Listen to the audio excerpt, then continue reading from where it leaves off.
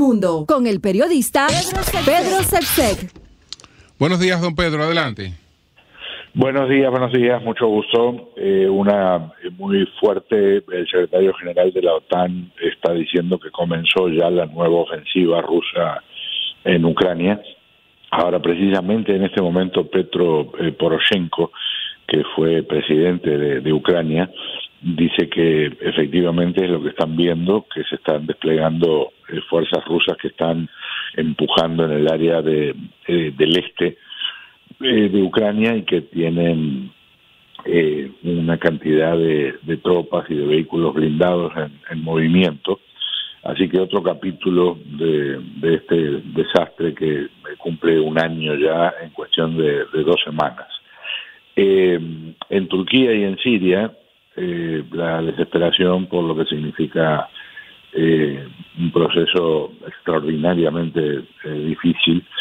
todavía han aparecido hasta en las últimas horas algunos sobrevivientes, pero ya es casi imposible pensar que haya muchas personas con vida debajo de los escombros a una semana. hay más de 36.000 personas muertas, dicen las autoridades y ya hay una investigación en marcha en la que puede haber eh, gente en la cárcel pronto, porque estamos hablando de contratistas que habrían violado normas eh, de construcción y que eso ayuda a que desgraciadamente eh, algunos de los edificios no, no hayan resistido el impacto del terremoto y que si hubieran estado bien construidos podrían por lo menos haber salvado una parte de la estructura. Eh, por otro lado, eh, ustedes saben, en, eh, en, Washington 222 personas desterradas por el gobierno de Nicaragua comienzan un nuevo capítulo de su vida. Todavía no se tiene muy claro en qué dirección se darán las cosas con ellos. España les ofreció la ciudadanía a todos.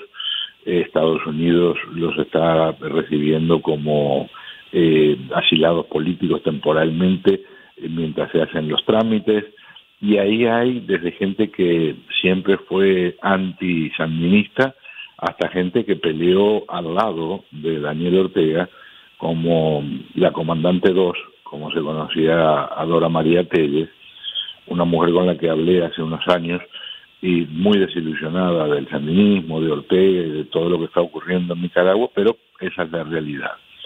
Y en el tono liviano, los eh, Chiefs de, Kansas City eh, le ganaron un partidazo, un partidazo a los Eagles de, Filadelfia 38 a, a 35.